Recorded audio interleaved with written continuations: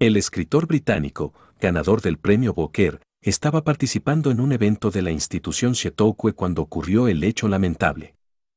Varias personas contaron que vieron a un hombre correr al escenario y golpear o darle con un objeto pulsante a Rusty. En un video que se está haciendo viral se puede destacar el momento que muestra a los asistentes subiendo al escenario inmediatamente después del incidente. ¿Pero qué onda con esto? Para los que no lo sepan, Salman Rushdie es un escritor perseguido en Irán desde hace décadas.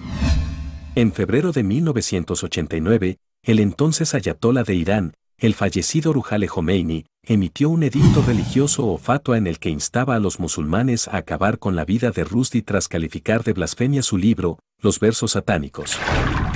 Jamás se había visto que una novela había creado una crisis diplomática de ese nivel ni que un gobierno haya ordenado públicamente que se matara a un ciudadano de otro país.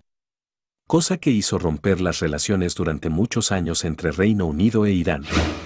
Es de mencionar que los traductores de dicha novela, tanto en japonés e italiano, tampoco fueron perdonados y se les fue arrebatada la vida. Todo causa de un libro, indudablemente sorprendente, ¿te gustaría saber de qué trata ese libro? Déjalo en los comentarios.